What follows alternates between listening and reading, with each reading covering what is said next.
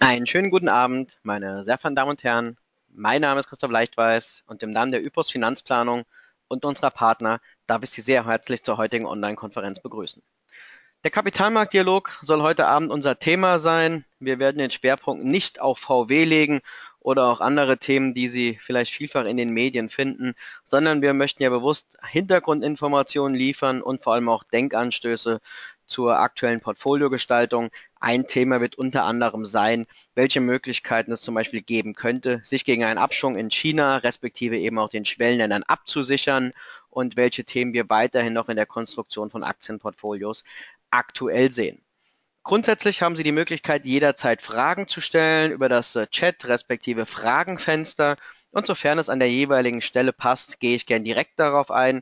Sofern es vom weiteren Verlauf Sinn macht, das zu einem späteren Zeitpunkt zu behandeln, weil dann vielleicht auch noch eine Grafik dabei ist, dann gehen wir dann drauf ein. Aber insgesamt ist das Ziel natürlich, alle Fragen so zu beantworten, sodass Sie möglichst viel mitnehmen aus den nächsten Minuten. Von der technischen Seite sollten Sie alles vernünftig sehen können. Ton sollte auch stimmen, so zumindest äh, die Mitteilung der Kollegen hier und meines Kontrollbildschirms. Von daher würde ich dann auch direkt in die Fakten einsteigen. Wir schauen uns zunächst den wichtigsten Preis der Volkswirtschaft an. Das ist der Preis des Geldes, umgangssprachlich auch der Zins genannt. Sie wissen, früher gab es mal Zinsen, sogar auf dem Girokonto. Und im Nachhinein der Finanzkrise haben die Deutschen doch vielfach festgestellt, dass irgendwas im Finanzsystem nicht mehr stimmt, weil das Tagesgeldkonto war auf einmal schlechter verzinst als der Bausparvertrag. Also schauen wir es uns im Kern mal an, wo wir momentan bei Zinsen stehen. Hier mal dargestellt für verschiedene Länder, angefangen bei Litauen über Spanien, Slowenien, Italien und auch eben äh, Deutschland. Jeweils die Renditen von Staatsanleihen mit einer fünfjährigen Restlaufzeit. Und da stellen Sie fest, naja, von 1,2 äh, für, die man für Litauer bekommt, bis minus 0,728, die man hier für die Schweizer bezahlen musste, reicht das Spektrum. Insgesamt diese Daten natürlich äh, jeweils vor Transaktionskosten, weil auch wenn Sie eine Staatsanleihe kaufen, haben Sie natürlich Transaktionskosten. Wir haben natürlich auch noch Abgeltungssteuer zu zahlen in Höhe von 25 Prozent plus Solidaritätszuschlag und gegebenenfalls Kirchensteuer, sodass man im Kern sagen muss, Vermögensmehrung im Zinsbereich scheint schwierig weil auch wenn Sie heute auf lange Laufzeiten gehen von 20 oder 30 Jahren, dann haben Sie Renditen von unterhalb zwei, von 2% für einen sicheren Schuldner wie Deutschland. Und auch wenn Sie Kreditrisiken eingehen, weil Sie zum Beispiel Unternehmensanleihen der Eurozone von äh, soliden Titeln kaufen, dann haben Sie Renditen auch unterhalb von 2%. Wenn Sie Hochzinsanleihen nehmen, sind Sie, glaube ich, bei um die 4%. Also das Thema Zinsen momentan relativ trostlos. Niedrige Zinsen, die fehlen uns natürlich oder beziehungsweise fehlende Zinsen sind natürlich auch ein Grund dafür, dass uns so ein bisschen der Kompass fehlt, was Bewertungen anbetrifft, ob das jetzt die vermietete Immobilie ist oder ob es die Aktie ist. Die Zinsen gehen noch überall auch äh, hier in Berechnungen mit ein, wenn man versucht, den nachhaltigen oder fundamentalen Wert zu ermitteln. Und dementsprechend sehen Sie es auch mal hier dargestellt äh, für die Aktienmärkte also das war doch eine ordentliche Achterbahnfahrt, die wir hier mitgenommen haben seit äh, Beginn des Jahres. Sie sehen es ja hier mal für den DAX 30 dargestellt in Orange, respektive natürlich auch für den Stock 600 hier in Rot. Ein phänomenales erstes Quartal, Renditen teilweise von äh, 20 respektive 25 Prozent. Und dann ging das alles doch sehr, sehr schnell wieder in die andere Richtung. Und am Ende des Tages muss man sagen, in vielen Fällen außer Spesen nichts gewesen weil viele Systeme oder Anleger haben vielleicht auch prozyklisch in die steigenden Kurse Positionen aufgebaut und haben dann doch äh, stark unter dem massiven Kursverfall ge gelitten. Und ähm, Sie sehen ja auch, wie schnell das hier auf der Zeitachse ging. Wenn Sie mal schauen, hier sind wir noch hier oben und dann innerhalb von äh, wenigen Wochen donnert das Dach hier ordentlich runter. Die Gründe sind vielfältig, die können Sie in den Medien nachlesen, aber es ist doch ein relativ äh, schwieriges Thema, weil natürlich Verluste auch immer emotional schwer zu verkraften sind und Sie sehen ja auch, diese Verluste und Bewegungen sind ja in vielen Fällen synchron. Das heißt, es geht gemeinsam in eine Richtung, gemeinsam nach oben oder gemeinsam nach unten. Lediglich äh, der Stärkegrad ist äh, hier unterschiedlich und das macht es eben auch so schwierig, momentan Portfolios zu konstruieren, die robust sind und dementsprechend nicht zu starken Schwankungen unterliegen. Also Zinsen gibt es keine, unangenehme Schwankungen bei dem liquidesten Sachwert der Welt, eben den Aktien, Risikostreuung auch schwierig. Und das bringt mich auch schon mal zu einem ersten Fazit zum Gesamtverständnis. Also die Geldpolitik, die wird expansiv bleiben. Mal wird die eine Notenbank mehr tun, mal wird die andere mehr tun. Insgesamt scheint momentan Japan den Wanderpokal der Notbankintervention abonniert zu haben. Aber auch in der Eurozone könnte man sich ja durchaus vorstellen, dass man das Anleiheaufkaufprogramm nochmal in seiner Struktur verändert. Also etwas, offensiver wird, sodass insgesamt das Thema Liquidität an den globalen Kapitalmärkten vorerst kein dämpfender Faktor sein sollte. Die Frage ist natürlich, ob Liquidität alleine ausreicht, um die Vermögenspreise oben zu halten. Und dementsprechend auch schon der nächste Punkt, Phasen mit erhöhter Schwankungsbreite, die liegen noch äh, vor uns. Und ähm, eben diese Thematiken mit den hohen Schwankungsbreiten kommen vielleicht oder wahrscheinlich auch daher, dass wir zum einen seit, einerseits natürlich einen schwierigen Effekt haben, was das wirtschaftliche Wachstum betrifft, ob das der technologische Fortschritt sein kann, ob es auch die Thematik ist, dass wir Überkapazitäten nach der Finanzkrise aufgebaut haben, die natürlich momentan zu einem gewissen Überangebot an Waren und Dienstleistungen führen und dementsprechend kaum Preispotenzial besteht.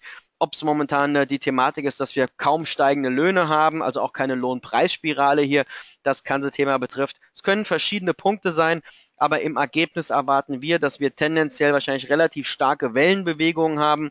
Das heißt, einerseits realisieren die Marktteilnehmer, dass die reale Wirtschaft mit Problemen behaftet ist, dass vielleicht Wachstumsraten äh, aus der letzten Hälfte des äh, letzten Jahrhunderts vielleicht so nicht wiederholbar sind, dann äh, kommen die Kurse eben nach unten. Und wenn man dann feststellt, hey, die Notenbank ist ja wieder aktiver, und äh, dann äh, sieht man, na gut, die Zinsen bleiben unten, die Notenbanken tun was, also sind wir doch bereit, wieder Vermögenswerte zu kaufen. Und dann geht es relativ schnell und stark auch mal wieder nach oben. Also hier ist das richtige Erwartungsmanagement vielleicht auch sinnvoll. Das sehen wir später im Detail noch. Unterdurchschnittlich Wirtschaftswachstum äh, eben schon mal angesprochen. Im Kern natürlich jetzt mal rein auf die Anlegerperspektive bezogen, in dem Moment, wo natürlich der Zins fehlt und wo dieser Anlagenotstand natürlich zu sehr, sehr niedrigen Renditen führt, haben wir natürlich das große Risiko von Fehlallokationen, also von Fehlinvestitionen. Das heißt Investitionen, die sich vermeintlich nur rächen aufgrund des niedrigen Zinses. Und äh, wenn sich die Situation hier mal wieder ändert, dann stellt man doch fest, dass man vielleicht wirtschaftlich nicht optimal investiert hat. Da der Zins alle Bereiche ihrer Geldanlage betrifft, also von der Altersvorsorge bis hin äh, zum Depot und auch sämtliche Vermögensklassen, also von der Immobilie über den Aktienmarkt hin zu den Anleihen oder auch den Edelmetallen, ist eben Risikostreuung heute schwieriger denn je und benötigt gegebenenfalls eben auch neue Strategien. Und auch das sage ich gleich dazu. Neue Strategien sind es weniger, sondern es sind eher unpopuläre Strategien, weil die stehen eigentlich im Kontrast zu dem, was momentan stark propagiert wird. Momentan heißt es ja, kauf einfach den Markt, so günstig wie es geht. Ähm, ich glaube, man sollte vielleicht auch momentan mal darüber nachdenken, vielleicht auch mal Strategien zu kaufen, die ein bisschen teurer sind, aber auch die Chance haben, dann Geld zu verdienen, wenn die Bewertungen etwas teurer sind.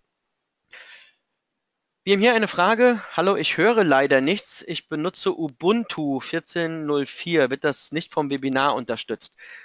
Ähm, das kann ich Ihnen jetzt leider nicht sagen. Ich kann die Frage jetzt ja auch äh, schlecht beantworten, aber grundsätzlich sollte es eigentlich auf allen Systemen funktionieren. Ich schaue auch mal gerade zum Kollegen rüber. Da sieht so aus, als ist der Ton wunderbar. Wir zeichnen es ja auch im Nachhinein auf, sodass es spätestens äh, mit der Konserve alles da sein sollte. Also, schauen wir kurz nach China. Was sehen Sie hier?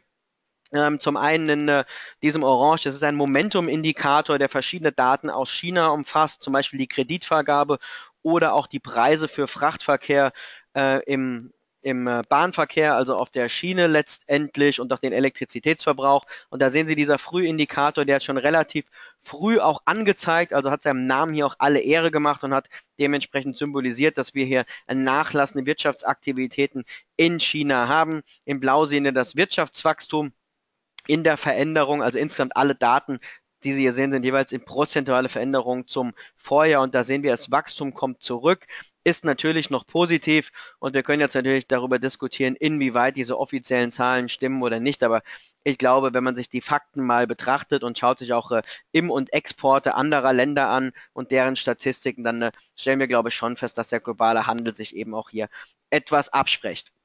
Der Service-Sektor, der in China, der entwickelt sich noch relativ solide, sehen Sie, er läuft seitwärts, aber die Frage, die man sich natürlich stellt, ich glaube sowohl in China als natürlich auch global, wie wird dieser Wachs wie wird dieser Wandel von der Industriegesellschaft, von der Investitionsgesellschaft zur Servicegesellschaft einhergehen? Wie viele Probleme wird es da geben? Wird es möglich sein, auch die hohe Schuldenthematik zu lösen? Und eigentlich für die hohe Schuldenthematik bräuchten wir eigentlich einen funktionierenden Aktienmarkt, bei dem die Unternehmen eben neues Eigenkapital aufnehmen können, um quasi damit auch Schulden zu bedienen. Und ein solcher Aktienmarkt, den haben wir, glaube ich, in Sachen Kursbewegung nicht. Auf der anderen Seite auch rechtliche Themen, die den Aktienmarkt da teilweise im kritischen Licht erscheinen lassen. Also glaube, dieses Thema Abschwung am chinesischen Aktienmarkt hat nicht nur was mit Kursbewegung zu tun, sondern das wird uns auch noch nachhaltig begleiten, was das Thema Vertrauen in diesen jungen Markt letztendlich hier trifft. Also Abschwung ja, Krise werden wir gleich nochmal sehen. Wen hat es besonders getroffen? Natürlich äh, diejenigen, die sehr stark vom äh, Aufschwung Chinas profitiert haben. Letztendlich hier natürlich der Rohstoffsektor, dass die Rohstoffe auf breiter Front gefallen sind, egal ob es das jetzt äh, Öl war, ob das die Industriemetalle waren, das ist Ihnen, glaube ich, bekannt. Deswegen jetzt hier mal dargestellt nochmal die Entwicklung äh, des äh, globalen Aktienmarktes, konkret bezogen auf den, äh, auf eben den Sektor Materials, also wo wir eben auch die Rohstofftitel hier drin haben. Und da sehen Sie da ging es doch ein gutes Stück nach unten und teilweise Einzelwerte mit spektakulären Bewegungen. Also Glencore, das sehen Sie hier in diesem äh, Türkisblau, also ja schon ein brutaler Verlust. Da ging es mal 80 Prozent nach unten. Ähm, jetzt haben die sich, glaube ich, vom Tiefpunkt schon wieder verdoppelt. Also wirklich erratische Bewegungen, die man in diesem Sektor sieht. Und ja natürlich auch große Unternehmen oder Namen trifft wie eine BHP Billiton oder eine Anglo-American die hier auch ordentlich Federn gelassen haben und der Rohstoffsektor ja auch einer der Bereiche momentan, der von vielen Anlegern gemieden wird. Und die Kernfrage, die man sich stellen muss, wann ist es denn wieder günstig genug, um hier zu kaufen?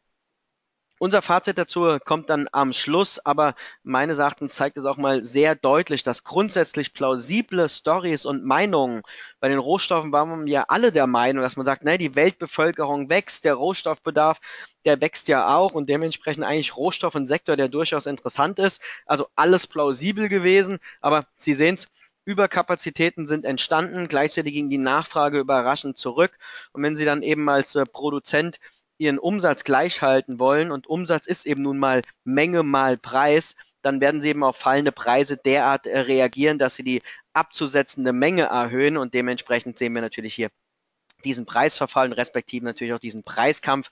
Aus meiner Betrachtung her werden die Großen das natürlich überleben, man wird die Kleinen schlucken und ähm, dementsprechend, wie gesagt, langfristig kann man sich hier das ein oder andere durchaus mal anschauen.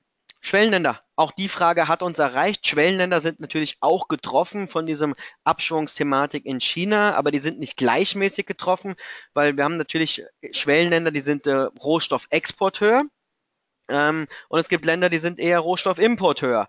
Und das zeigt sich hier auch ähm, meines Erachtens sehr gut. Das ist, ich weiß, immer eine relativ technische Darstellung und auf den ersten Blick für den Privatanleger ein bisschen eine Zahlenchaos. Aber ich denke, wie gesagt, eine komplexere Darstellung macht da doch mehr Sinn als irgendein Prosa-Artikel in irgendeiner Zeitung.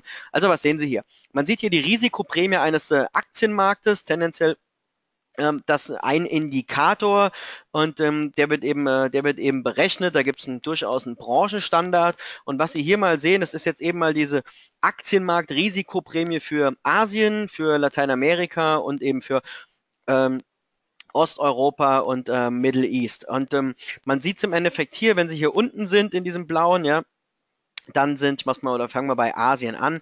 Ähm, hier oben sieht man, okay, das ist der Bereich. Dann sind Aktien im Vergleich zu Anleihen eher günstig. Wenn man dieses Konzept der Risikoprämien, was langfristig ein eigentlich ganz verlässlicher Indikator ist, zugrunde legt. Also in Asien würde man sagen, Aktien machen eher Sinn als Anleihen. Der Grund natürlich auch hier in Asien tendenziell eher Länder auch vertreten, die ähm, auf der Rohstoffseite weniger Exporteur, sondern eher Importeur sind.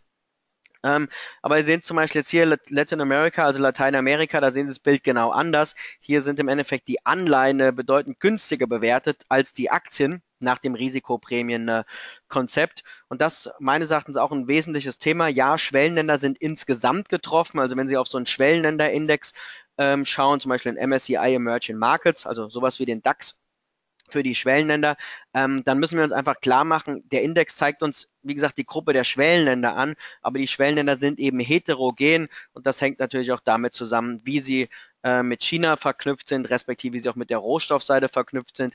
Und wir haben durchaus eben jetzt gesehen, dass äh, wir natürlich hier teilweise zwei Risikopunkte haben, die zusammenkommen. Wenn Sie eben zum Beispiel in Brasilien investiert sind, dann haben Sie einerseits das Problem, der Schwellenländer, dann auch die Rohstoffkomponente, die mit reinspielt, was dann ähm, auch sehr schnell zu äh, fallenden äh, Währungskursen führt, zu ähm, höheren Zinsniveaus, die die Länder zahlen müssen, ähm, zu wirtschaftlichen Problemen. Also ich glaube, die Schwellenländerkrise ist noch nicht äh, zu Ende. Und äh, meines Erachtens, ähm, wenn man das in einer langfristigen Betrachtung sieht, kann man sich mal überlegen, dass man sagt, okay, ich habe noch keine Schwellenländer im Portfolio oder einen sehr niedrigen, einen sehr niedrigen Anteil in Schwellenländer. Und dann kann es mal interessant sein zu sagen, okay, ich äh, baue mal eine erste Position in Schwellenländern auf aber ich kombiniere die mit einem Sparplan, also eben zu sagen, okay, ich will eine Schwellenländerquote von x Prozent an meinem Portfolio, dann würde ich vielleicht ein Viertel, ein Fünftel jetzt auf einen Schlag kaufen bei dem jetzigen Niveau und die anderen vier Fünftel würde ich über einen längerfristigen Zeitraum mit einer Art Sparplan, also Salamitaktik streuen, weil äh, es ist äh, durchaus äh, plausibel, dass äh, die Bewegungen hier noch nicht vorbei sind.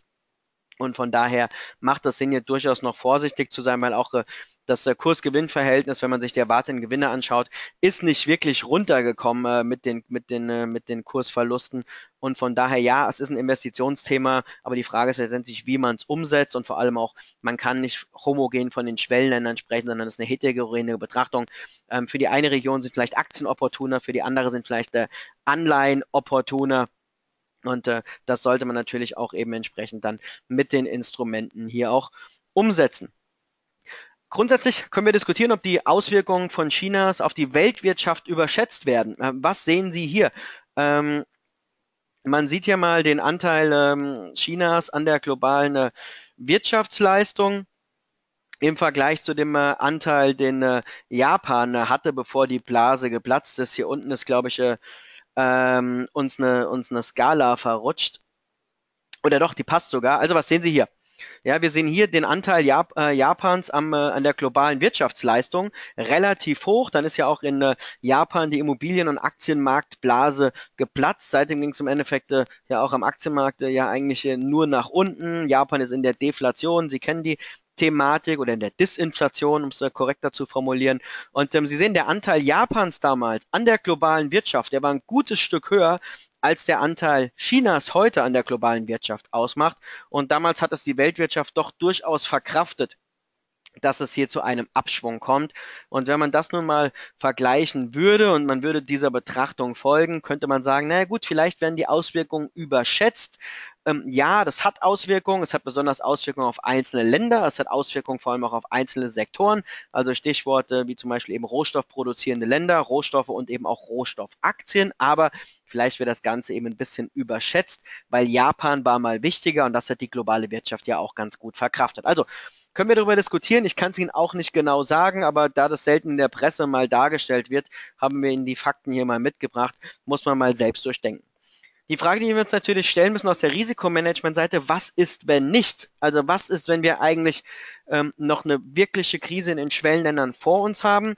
Einige Analysten sprechen bereits von der Lost Decade, also von der verlorenen Dekade. Und wenn man das hier dann mal durchrechnen würde, eine verlorene Dekade in den Schwellenländern oder auch eine harte Landung in China, dann äh, könnte das durchaus zu noch erheblichen Abschlägen äh, an den äh, Schwellenländeraktien, aber natürlich auch an den Aktienbörsen der Industrienationen führen. Und die Frage ist ja, wie könnte ich mich denn dagegen schützen? Und das habe ich Ihnen jetzt äh, nicht als äh, Charts mitgebracht, weil das äh, aufsichtsrechtlich wahrscheinlich auch schon in das Thema Anlageberatung gehen würde oder beziehungsweise eigentlich nicht, weil Sie sind ja ein unbestimmter Teilnehmerkreis. Aber ähm, ich habe es Ihnen trotzdem mal verbal im Endeffekt mitgebracht, um mal die ein oder andere Idee auch zu präsentieren. Ähm, Kunden von uns bekommen das dann nochmal äh, natürlich sowieso auch mal im Detail präsentiert, aber jetzt hier in der Breite ähm, einfach mal die Ideen jetzt hier mal verbal. Also, was wären zum Beispiel solche Ideen? Wenn wir davon ausgehen würden, dass die, dass die Krise in den Schwellenländern noch nicht vorbei ist, also dass da uns noch einiges bevorsteht, dann könnte man sagen, na gut, ich setze darauf, dass sich amerikanische Aktien besser verhalten als der globale Aktienmarkt.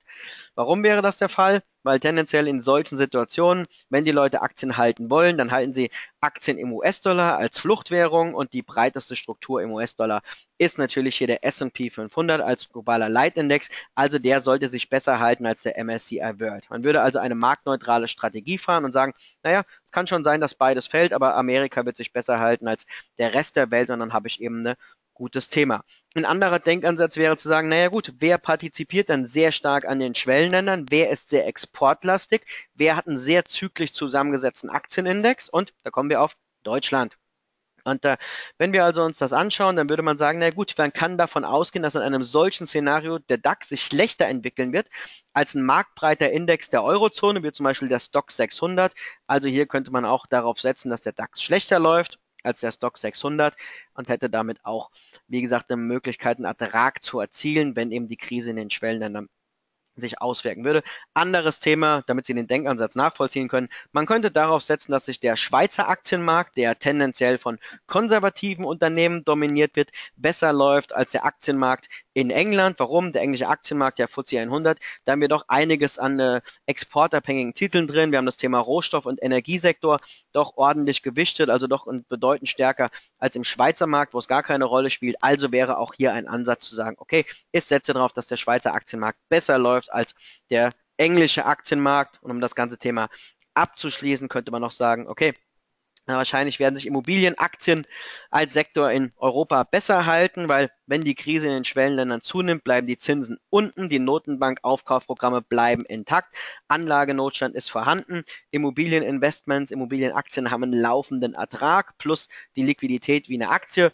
Also äh, glaube ich, dass die sich besser entwickeln als zum Beispiel exportabhängige Titel in der Eurozone. Also, wie gesagt, das mal so Ideen, die man sich äh, durchdenken kann, wenn man sein Portfolio dagegen absichern möchte, dass in den Schwellenländern vielleicht ja nicht alles vorbei ist. Und wenn man es auf die Anlagepraxis runterbricht, dann würde ich mal solche Absicherungsstrategien dort berücksichtigen, wo größere Teile meines Kapitals angelegt sind, um das im Endeffekt vor zu starken Schwankungen zu schützen.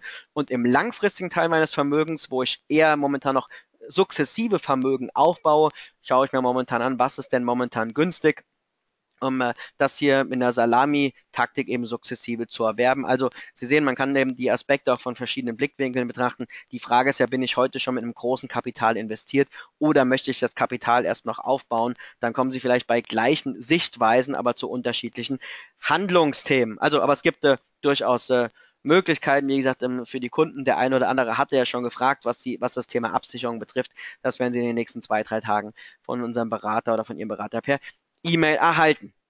Kommen wir zum Thema USA. Zinserhöhung. Ja, nein, vielleicht. Also ist ein bisschen wie Michael Schanze. Die Älteren unter Ihnen werden das noch kennen. Eins, zwei oder drei. Ob du richtig stehst, siehst du, wenn das Licht angeht. Also so fühlt man sich ein bisschen momentan. Meines Erachtens gibt es gute Gründe, dass man sagen würde, naja, mal ganz ehrlich, ja, die Wirtschaftsdaten sind nicht toll. Sie sind aber auch nicht extrem bescheiden. Sie sind auf jeden Fall nicht so schlecht, als dass wir einen Zins von 0 bis 0,25 benötigen würden. So, Deswegen sehen Sie hier mal, äh, mal ein paar Daten zum Arbeitsmarkt und dem Trend. Sie sehen es, wir schaffen immer noch neue Stellen, aber der Trend über die letzten drei Monate, der geht hier natürlich nach unten. Und Sie wissen ja, wenn Sie volkswirtschaftliche Daten betrachten, seien Sie vorsichtig, einzelne Datenpunkte zu einem gewissen Zeitpunkt als Indikator zu nehmen, sondern schauen Sie auch immer die Trends an. Und ähm, deswegen sehen Sie hier natürlich beides dargestellt. Einmal die Balken für den äh, Zeitpunkt ähm, und natürlich hier in äh, Rot nochmal den, äh, die, den, den Trend, den Drei-Monats-Trend. Und da sehen Sie, okay, wenn man das betrachtet, äh, könnte man das Thema Zinserhöhung verschieben. Also da wird viel darüber diskutiert. Ja, wir werden äh, sehen, was passiert. Heute hat sich ja Fed-Präsident Williams äh, geäußert. Er sagt, trotz der enttäuschenden Arbeitsmarktdaten, also die sehen Sie ja hier im Bild, sei trotzdem mit einer Zinserhöhung bis Ende des Jahres zu rechnen. Also ehrlich gesagt, ich glaube mittlerweile nicht mehr dran, wobei wir ja auch ganz klar sagen müssen, ob die Zinsen jetzt bei 0,25 oder bei 0,75 liegen, das wird nicht das große Thema werden. Und äh, zusätzlich haben wir momentan die Thematik, dass sich äh, die Liquiditätssituation im amerikanischen Markt sowieso etwas verschlechtert, sogenanntes Tightening. Das hat damit zu tun, dass die Börse zurückgekommen ist, dass Risikoaufschläge bei Unternehmensanleihen sich wieder ausgeweitet haben. Und äh, man könnte auch sagen, wir hatten bereits eine Liquiditätsverkappung, ohne dass die Fed die Zinsen erhöhen musste. Manchmal äh, regelt es doch auch der Markt. Aber ganz klar, ähm, irgendwann muss man auf der Zinsseite was passieren, weil die Frage ist natürlich, wie soll denn die Notenbank das nächste Mal gegensteuern, wenn die Wirtschaft mal schlechter läuft? Weil momentan läuft sie ja ganz solide. Und ähm, wie gesagt, wir werden sehen, aber das ist natürlich ein Thema, auf das die Marktteilnehmer schauen. In der Eurozone, da sehen wir eine positive Tendenz. Wir haben äh, bei der Geldmengenentwicklung, bei der Kreditvergabe, da sieht es äh, durchaus ganz ordentlich aus. Hier sehen wir mal die Finanzierungszinse für, für Unternehmen. Auch die passen sich wieder an, die kommen nach unten. Wir sehen, dass sich die Finanzierungszinsen für Unternehmen in den verschiedenen Ländern wieder anpassen. Also wir haben eine gewisse Konvergenz.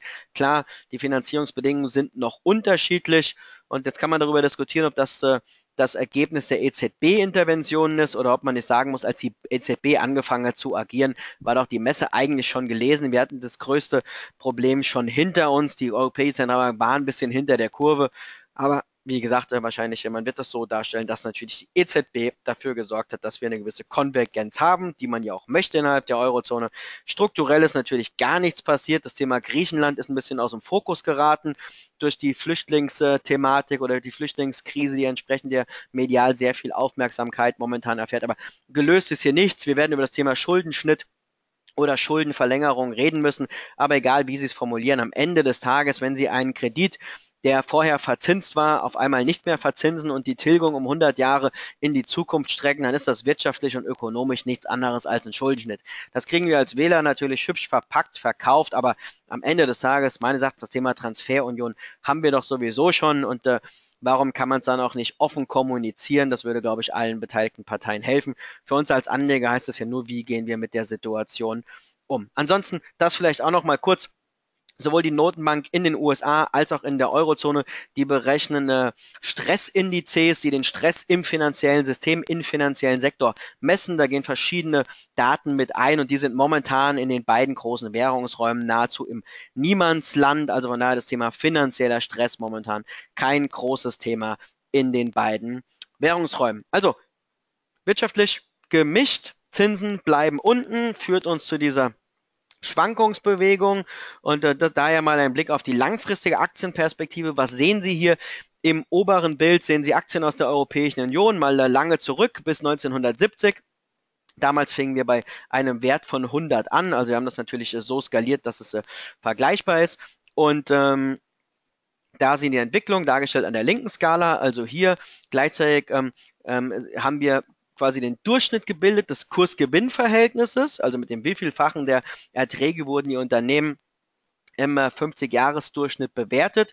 Und was Sie dann hier sehen in dieser blauen Linie, das ist jeweils zum jeweiligen Zeitraum, ob momentan wir einen Aufschlag haben auf das langfristige historische Kursgewinnverhältnis oder ob wir eine Bewertung haben, die drunter liegt. Und momentan, Sie sehen es, auch ohne Volkswert zu sein, hier ist die Nulllinie, hier oben sind wir momentan, also haben wir momentan einen Aufschlag. Also sprich, wir sind teurer als der 50-Jahres-Durchschnitt. Natürlich sind die Zinsen auch anders, aber das möchte ich auch mal ganz klarstellen. Nur weil die Dividendenrenditen von Aktien höher sind als die Rendite einer Bundesanleihe, nur weil die Dividenden höher sind als äh, die Renditen von Unternehmensanleihen, heißt das nicht, dass man blind Aktien kaufen kann.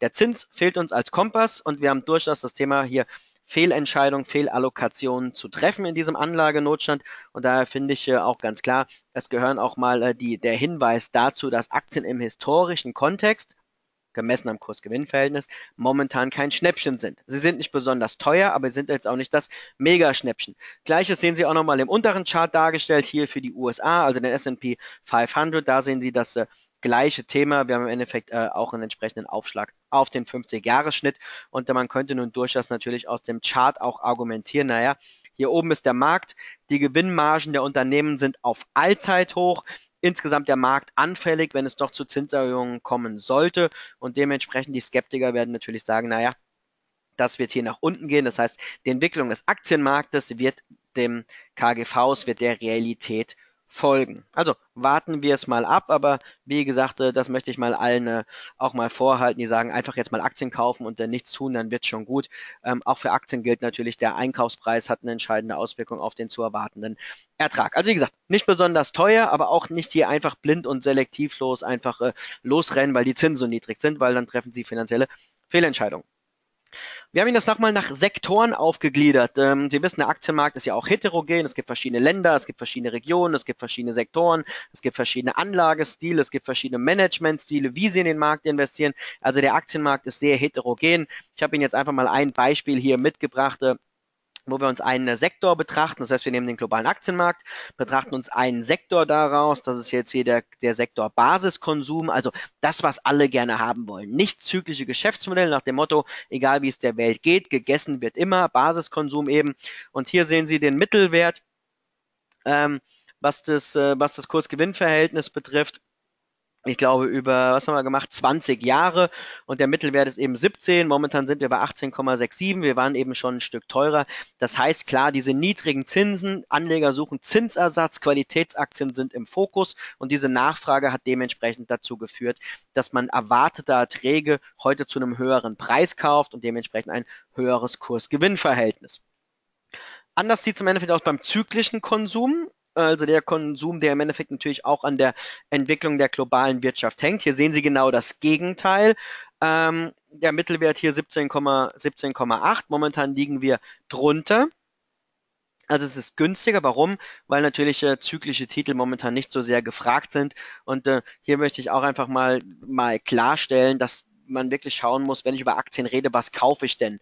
Ähm, und ähm, ich weiß nicht, welcher Investor es mal gesagt hat, aber man kann natürlich auch Gutes und qualit qualitativ Hochwertiges zu teuer kaufen und Sie können natürlich auch etwas, was vielleicht qualitativ schlechter ist, aber so günstig kaufen, dass es auch ein gutes Investment ist. Also das sollte man beides im Verhältnis sehen, ähm, aber das hier nochmal auch zur Einordnung des äh, Aktienmarktes und vor allem auch ähm, stellt sich ja zum Beispiel die Frage, ich gehe nochmal eins zurück, wenn Sie jetzt hier ein Anleger sind, der äh, sehr stark natürlich in Qualitätstiteln investiert ist, dann sehen Sie im Endeffekt hier, okay, äh, ihr, ihr Portfolio ist jetzt im Durchschnitt ein gutes Stück teurer geworden.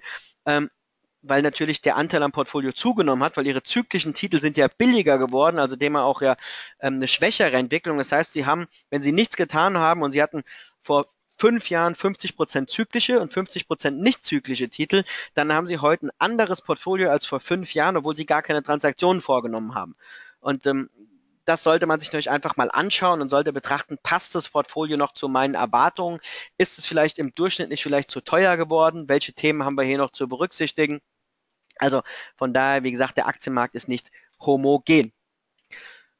Nochmal eine Trendbetrachtung. Was äh, sehen wir hier? Das ist eine ganz, ganz simple Trendbetrachtung. Ähm, einmal äh, für den Stock 600, also für europäische Aktien, also inklusive, ähm, ähm, na, wie heißt es, Großbritannien und äh, Schweiz und ähm, dann unten für den S&P 500 und äh, wie müssen Sie diese Tabellen hier lesen, wenn wir hier unten mal anfangen. Das ist der 20 Tage gleitende Durchschnitt, 50 Tage, 100 Tage gleitender und 200 Tage gleitender Durchschnitt. Das können Sie sich auch bei, bei vielen Direktbanken anschauen. Dann sieht man, ist der Markt drüber oder drunter und das kann man als Timing-Indikator nutzen. Also kurz gesagt, wenn der Aktienmarkt über dem 200 Tage gleitenden Durchschnitt, dann sagt man, ich bin investiert, ist da drunter, äh, glaube ich, dass der Aufwärtsrand gebrochen ist und gehe ins Cash. Ähm, klar, ganz so simpel ist es nicht, aber es gibt schon viele, die sich daran orientieren und so schlecht war der Indikator, obwohl er so simpel ist, nicht. Wichtig ist hier aber mal auch mal reinzuschauen und mal, mal zu gucken, wie viel Prozent der Aktien sind denn oberhalb des gleitenden Durchschnitts und wie viel Prozent sind denn unterhalb? Und da sehen Sie, naja, gut, ähm, wir sind doch hier ähm, eher, wir haben äh, ja, fast zwei Drittel Aktien, die unterhalb des äh, gleitenden Durchschnitts äh, sind in Europa und ähm, wie gesagt, das ist eben eine detailliertere Darstellung, weil ansonsten kann es ihnen durchaus passieren, dass sie einige Schwergewichte haben, also Aktien, die im Index sehr hochgewichtet sind, die haben vielleicht 6, 7, 8 Prozent Indexgewicht. Und äh, die sind eigentlich unterhalb des Durchschnittes, die haben ihren Aufwärtstrend schon gebrochen, aber haben eben einen hohen Anteil am Index. Andere Aktien, die sind noch in einem Aufwärtstrend, machen aber nur 0,5 oder 0,8 Prozent des Indizes aus. Und ähm, dementsprechend sollte man nicht nur auf diese gleitenden Durchschnitte schauen, sondern auch die Struktur der gleitenden Durchschnitte. Was ist denn oberhalb, was ist unterhalb? Und das sehen Sie hier mal dargestellt. Und Sie sehen es jetzt mal auch, dass durch die Kursbewegungen in der jüngeren Vergangenheit, in den letzten Handelstagen, sehen Sie, dass diese kurzfristigen gleitenden Durchschnitte, wie der 20-Tages-Durchschnitt, die haben eben gereicht, um hier mal wieder über den Durchschnitt drüber zu kommen, sowohl äh, für den S&P 500 als auch für den Stock 600. Wenn es jetzt weitergeht, wird man über den 50 Tagen gleitenden Durchschnitt kommen und ähm, das ist auch wichtig, weil wie gesagt, es gibt Handelsmodelle, die basieren eben auf Durchschnitten und die steuern ihre äh, Allokations-, also äh, Marktinvestitionsquote danach. Ähm, also daher muss man sagen, okay, es könnte auch jetzt durchaus sein, dass wir jetzt wieder eine Bewegung nach oben bekommen. Also wie diejenigen unter Ihnen, die da kurzfristiger engagiert sind und einfach nur sagen, ich schaue auf den 200-Tageskleid im Durchschnitt. Nehmen Sie hier bitte mit, man kann auch ein bisschen äh, feiner reinschauen und es gibt dann doch ein bisschen besseres äh, Bild äh, hier des Marktes. Wenn wir über Markt sprechen, wird ja meistens in Indizes gemessen. Indizes sind Marktkapitalisierungsgewichte typischerweise. Marktkapitalisierungsgewichte bedeutet, je ähm, je höher die Marktkapitalisierung des Unternehmens, desto höher ist das Gewicht in einem Index. Das führt tendenziell dazu, dass das, was besonders gut gelaufen ist, im Index auch höher gewichtet ist, ist ein bisschen trendfolgend. Also sprich, bevor in Japan die Blase geplatzt ist, da waren halt sehr viele Immobilientitel und äh, Finanz- und Banktitel drin. Und ähm, vor der Finanzkrise, bevor die, bevor die Blase geplatzt ist oder die Krise begonnen hat, hatten wir im Eurostox 50, den ja viele als die besten 50 europäischen Unternehmen auffassen, der aber natürlich de facto die 50 Unternehmen mit der höchsten Marktkapitalisierung zusammenfasst. Auch ein Titel, der natürlich äh, sehr, sehr stark aus Finanztiteln bestand. Ähm, das heißt, Indizes sind auch heterogen und verändern sich auch in der Zusammensetzung. Dementsprechend ändert sich natürlich auch das Risiko in einem Index, weil am Ende des Tages ist ja ein Index, egal von wem er berechnet wird, auch hier ein festgegebenes Verhältnis und eine festgelegte Berechnungsmethode, wie ein Portfolio zusammengesetzt wird. Also, ein Index ist nichts anderes als ein Portfolio. Und auch das habe ich Ihnen äh, hier mal mitgebracht, weil man mittlerweile auch dazu übergeht oder so langsam anfängt im professionellen Bereich. Aber das ist, äh, glaube ich, die Speerspitze. Ähm, der Rest ist momentan eher noch dabei, einfach Index und ETFs zu kaufen, weil die sind ja äh, so günstig. Also was sehen Sie hier? Wir sehen hier im Endeffekt, okay, das Maß der Risikostreuung, die uns zum Beispiel momentan der globale Aktienmarkt bietet. Nehmen Sie es mal als aktuelle Zahl bitte, eben einen Wert von rund 4. Grundsätzlich gesehen, das Spektrum würde aber eine Risikostreuung mit einem Wert von 12 erreichen. Also sprich, die Indexzusammensetzung liefert momentan nur ungefähr, das sehen Sie dann ganz rechts, nur ungefähr ein Drittel der Risikostreuung, die möglich wäre. Und da das sehen Sie jetzt eben auch schon mal für die verschiedenen Indizes. Es gibt eben Indizes, da haben Sie einen höheren Grad, der momentan erzielt wird, und Sie haben eben welche, die haben einen geringeren Grad an Risikostreuung, der sich momentan liefert. Und durch diese Niedrigzinsphase sehen wir, dass Aktien und Anleihen laufen sowieso schon parallel, also Risikostreuung wird schwieriger. Und auf der anderen Seite auch die Indizes liefern uns momentan ein, teilweise eine relativ geringe Risikostreuung. Und weniger Risikostreuung heißt, obwohl sie in ihrem Portfolio nichts verändert haben, ähm, hat das Risiko momentan zugenommen.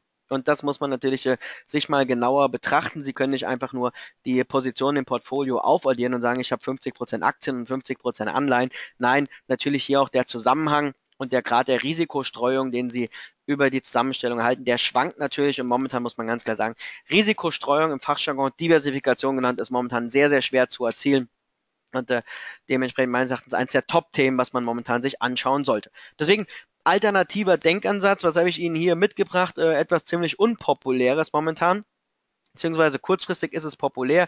Ähm, hier sehen Sie in, in Orange sehen Sie Fonds A, in Blau sehen Sie Fonds B, also das sind äh, echte Fonds. Das sind jetzt nicht irgendwelche Fantasiegebilde, sondern echte Fonds.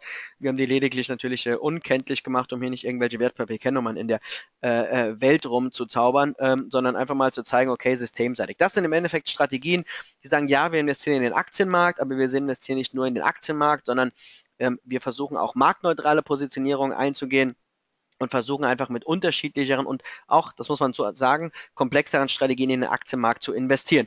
Und ähm, Sie sehen es mal hier dargestellt, ähm, der eine Fonds hier in blau, der hat auch diese Korrektur gut verkraftet hat sogar eine Plus erzielt, der andere hier in Orange, der hat im Endeffekt, äh, ist langsamer angestiegen, aber wenn Sie es mal betrachten, hier in grün im Verhältnis zum, äh, zum europäischen Aktienmarkt, dargestellt durch den Stocks 600, also doch viel, viel breiter als unser Heimat, äh, äh, Index hier der DAX, dann sehen Sie am Ende des Tages, Betrachtung jetzt mal heute vom 1.1., habe ich die gleiche Wertentwicklung erzielt wie ähm, mit dem Aktienmarkt, nur ich habe eben auch bedeutend geringeres Schwankungsrisiko gehabt. Und ich glaube, das wird ein Thema sein, mit dem man sich auch verstärkt beschäftigen sollte, eben auch zu sagen, welche alternativen Ansätze habe ich, um hier in den Aktienmarkt zu investieren um äh, letztendlich hier auch eine breitere Risikostreuung zu erzielen. Ähm, ich habe leider die Befürchtung, dass das Marketing von den Fondsgesellschaften und auch von der Presse und allem erst dann wieder losgehen wird, wenn die, wenn eine große Krise kam, weil es ja dann oft so, solange der Markt nach oben geht, sagt man, ich kauf einfach den Markt und alles ist toll. Ähm, aber im Endeffekt, wenn es dann gekracht hat, heißt, jetzt muss man ein Risikomanagement betreiben. Damit läuft man eben meistens hinterher und macht dann Risikomanagement, wenn der Markt eben extrem billig ist. Und von daher bin ich der Meinung, momentan eine gute Situation sich mal mit alternativen äh, Investmentstrategien auch im Aktienbereich äh, zu beschäftigen. Die sind teurer als ETFs, die sind komplexer als ETFs, aber wenn man die vernünftig äh, mischt, kriegen sie einen schönen Risikoergänzungsbeitrag im Portfolio. Dass das natürlich auch eine Kehrseite hat, äh, das gehört natürlich dazu. Deswegen hier mal die Betrachtung auf Sicht der letzten fünf Jahre.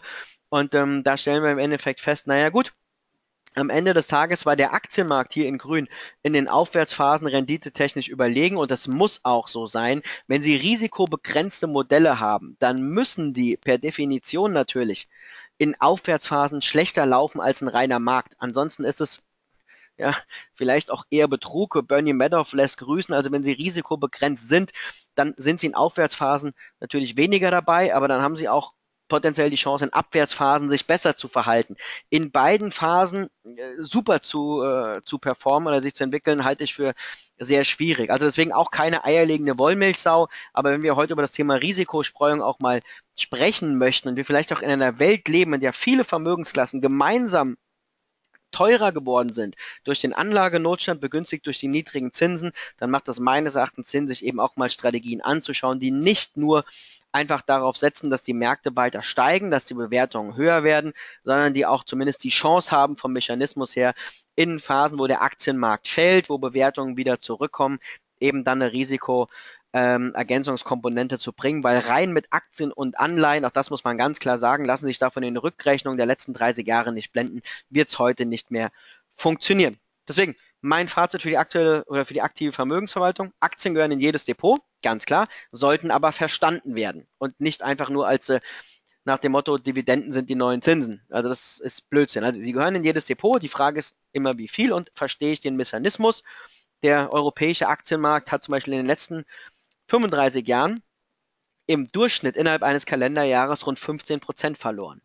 Also, wir hatten in 27 von 35 Jahren ein positives Kalenderjahresergebnis. Nichtsdestotrotz hatten wir zwischenzeitlich innerhalb des Kalenderjahres einen maximalen Verlust von 15 Prozent.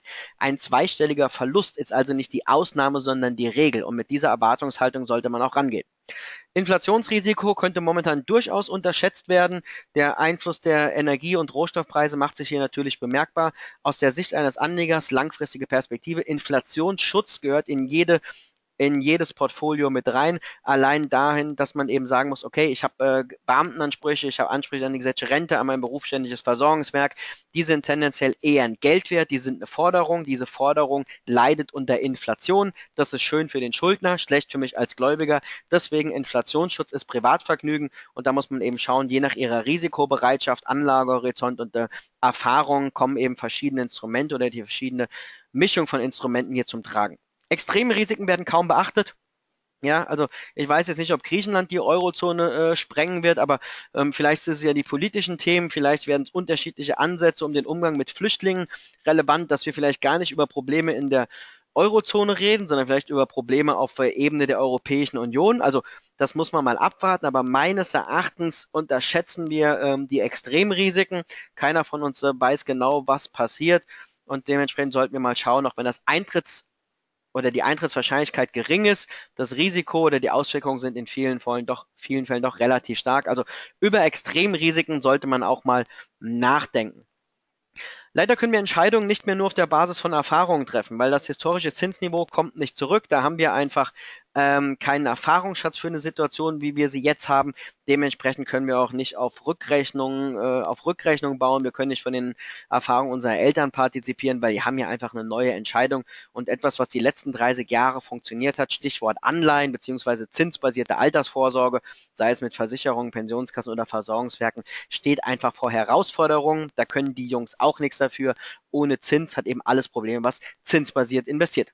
Fremdwährungen sind ein Rendite- und Risikobaustein, gehört heute ins Portfolio dazu. Hier muss man schauen, welche machen Sinn. Stichwort Probleme bei den rohstoffexportierenden Ländern. Der ein oder andere sichere Hafen ist vielleicht nicht mehr so sicher, wenn die Malaise am Rohstoffmarkt weitergeht. Anleihepreise auf einem interessanten Niveau. Also ob hier das Kredit- und Laufzeitrisiko adäquat vergütet wird, wage ich zu diskutieren. Ob Sie überhaupt einen hohen Anteil Anleihen im Depot brauchen, hängt von Ihrer eigenen Vermögensstruktur ab. Sind Sie angestellt, sind Sie selbstständig?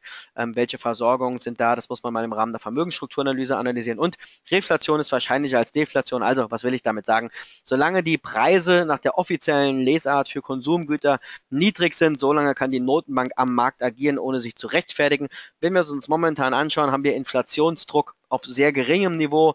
Lohnpreisspirale haben wir nicht. Wenn wir uns mal die Arbeitskosten in den USA anschauen, Asien und China werden tendenziell ein disinflationäres Preisniveau exportieren, weil sie einfach Überkapazitäten im Produktionssektor haben.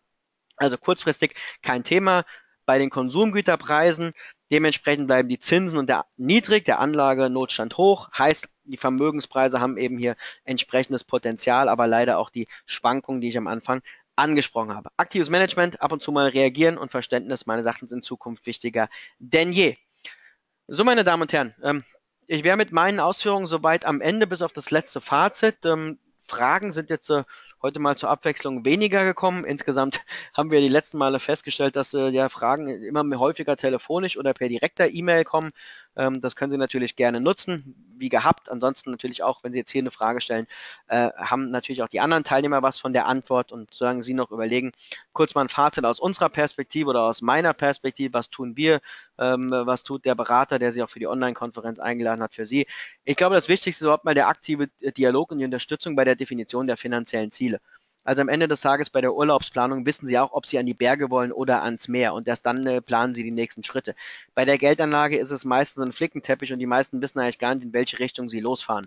Und da gilt es erstmal darum, Lebensziele zu definieren, wofür möchte ich das Geld einsetzen und ähm, dann kleben sie auf diese Lebensziele mal ein Preisschild. Das ist zwar emotional nicht so sexy, macht aber natürlich sachlich Sinn. Dann eine wichtige Frage, da wir heute alle nicht kalkulieren können, wie stark die Schwankungen sein werden, wie lang sich Schwankungen hinziehen werden und wie sich natürlich der technologische Fortschritt und diese ganzen Handelssysteme auf die Marktbewegungen auswirken. Also es wird immer weniger fundamental erklärbar sein, sondern mehr auf Handelssysteme bedingt sein. Ähm, man muss einfach ganz klar sagen, was ist Rücklage? Die gehört aufs Tagesgeldkonto und was ist Kapitalanlage? Ähm, also Gelder, die ich wirklich langfristig äh, oder mittelfristig so anlegen kann, dass ich hier eine Rendite oberhalb des äh, Zinses, der quasi nicht mehr vorhanden ist, erzielen kann. Ermittlung der notwendigen Rendite, das leitet sich daraus ab, wie viel Kapital Sie einsetzen können, was für ein Ziel Sie haben. Das ist eine finanzmathematische Größenordnung, das muss man einfach mal berechnen. Und dann gilt es, diese Rendite, die da rauskommt, mit dem aktuellen Kapitalmarktumfeld abzugleichen. Und vor allem mit plausiblen Zahlungs-, äh, Zukunftsannahmen. Was meine ich damit? Es spielt ja schon einen Unterschied, ob Sie momentan einen Aktienmarkt haben, der mit dem Zehnfachen der Jahreserträge bewertet ist, oder sagen wir beispielsweise mit dem Zwanzigfachen. Ja, je günstiger der Markt, desto höher sollten langfristig die Ertragserwartungen sein. Und eben äh, umgekehrt. Die Renditen am Anleihemarkt kann man ablesen. Für Staatsanleihen habe ich sie ja vorhin gezeigt.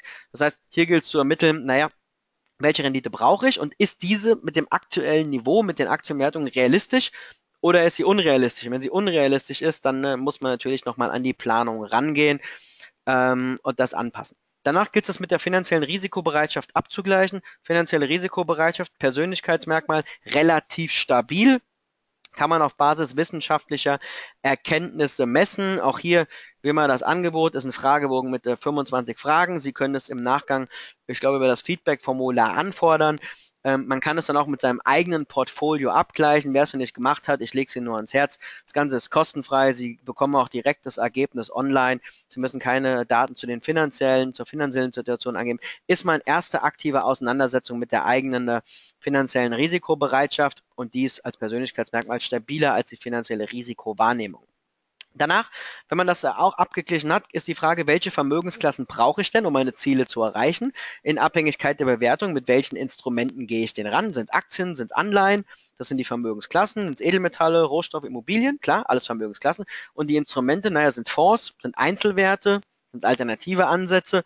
Das sollte man eben mal definieren, am besten auch schriftlich festhalten, ähm, damit man das eben auch äh, auch nachhaltig formuliert und nicht hier in jeder Marktphase anfängt, äh, eine langfristige Planung, die man in einer stressfreien Phase entwickelt, über den Haufen zu werfen, weil dann läuft man nur hinterher, handelt prozyklisch, dann äh, macht man zwar seine eigene Bank reich, weil hin und her macht Taschen leer, aber als Anleger haben sie nichts davon. Deswegen äh, meines Erachtens als Ergebnis, das ist ein ganz wichtiger Punkt aus den Punkten 1 bis 5, ist eben hier Punkt 6.